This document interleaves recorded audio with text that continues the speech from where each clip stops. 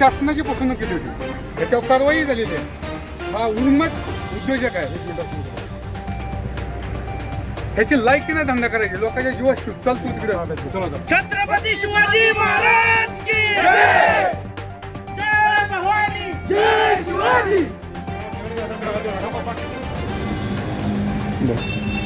रामकृष्णारी आज अशोक जिंदल नावाचा परप्रांतीय उद्योजक महाराष्ट्रात येऊन इथं उद्योग करतो.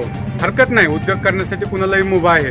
पण महाराष्ट्रात येऊन महाराष्ट्राच्या अस्मितेशी खेळतो.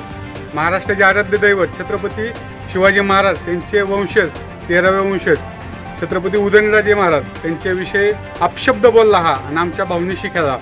उदयन महाराजाला हा पष्टपष्ट व गुंड म्हणतोय तो. त्यांनी त्याची आपल्याकडे व्हिडिओ क्लिप आहे त्याच्यामध्ये त्याचा स्पष्ट चेहरा आणि वॉईस आहे की त- उदयनराजे महाराज उदयनराजे भोसले करके कोई गुंडा है वो क्या कर लेगा? वो क्या कर लेगा? तुम्हाला कोणाला धमकी दिली का महाराजांना? आपापल्या पद्धतीनं व्यवसाय करा पण खाली फुकट. कारण नसताना महाराजांचं नावमध्ये घेऊन त्यांना बदनाम करण्यात आहे.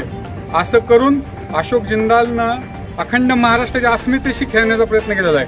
त्याच्यावर आता गुन्हा तर दाखल होईलच. तो भाग वेगळा आहे. पण आम्ही त्याची कंपनी महाराष्ट्रात कुठेही चालू देणार नाही. इंदापुरात तर कदापि चालू देणार नाही. तो भाग वेगळा आहे पण महाराष्ट्रात कुठेही चालू देणार नाही. त्याला महाराष्ट्रात राहू देत नसतो.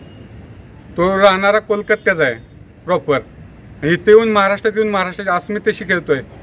एक दिवस असाच होता इंग्रजी असंच व्यवसाय करण्यासाठी महाराष्ट्रात आले आणि त्यांनी मा- अखंड हिंदुस्थानावर जवळजवळ दीडशे वर्ष राज्य केले. हा त्यातलाच एक उर्मट उद्योजक आहे हा तोच उद्योजक आहे उर्मट ज्यांनी लॉकडाऊनच्या काळात लोक ऑक्सिजन वाचून मरत होते. त्या पिरियडमध्ये लोणी एम आय डी सी मध्ये स्वतःच्या एम आय डी सी कंपनीमध्ये ऑक्सिजनचे सिलेंडर लपवून ठेवले. त्याच्यावर एस पी साहेबांच्या आदेशानुसार कारवाई झाली. हा तोच उर्मट उद्योजक आहे.